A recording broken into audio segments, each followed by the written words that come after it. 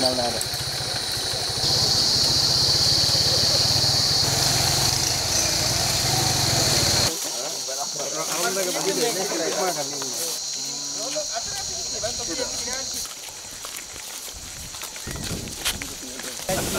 ඒක කපලා තියෙන්නේ.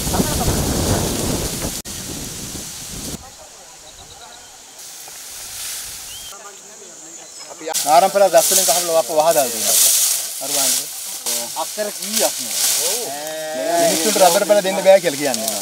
නක්කොල කියන ඒ රක්ෂිත ප්‍රදේශයේ දැන් මේ ඉන්න ගමන් මේ කැලයක් මේ රක්ෂිතේ විනාශ කරගෙන යන ගමන් මහා අපරාධයක් කළා තියෙනවා. ඒ ස්ථානේ දැන් අපි ඉන්නේ.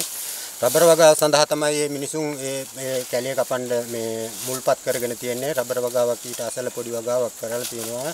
මේ වෙනකොටත් මාත්‍යෝ මෙන්න මේ රබර් පැල්ල ගෙනත් විරුවල කරන මහා අපරාධය ඊට එහා පැත්තෙන් තියෙනවා ලොකු ටේරල් දෙකක් විතර කැලේ ඇලක් දොලයක් අයිනට ටිපර කරලා දාලා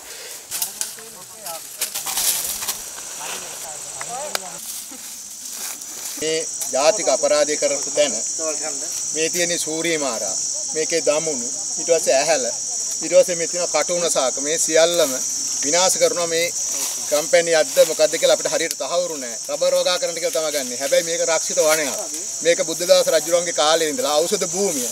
මේ දේශපාලකත්වයත් එක්ක එකතු වෙලා කරන ලොකු විනාශයක් තමයි තියෙන්නේ ඒ නිසා අපි කියනවා මේ ජාතික අපරාධය කරන්න එපා කියලා මිනිස්සු උස්ම ගන්නේ මේ නිසා මේ ගහකොළ නිසා ඒක හැබැයි මේ පාලකීන්ටවත් මේ ඉන්න නර්ම සමහර ව්‍යාපාරිකයින්ටත් තේරෙන්නේ නැහැ. උන්ට ඕනි සල්ලි පමණයි.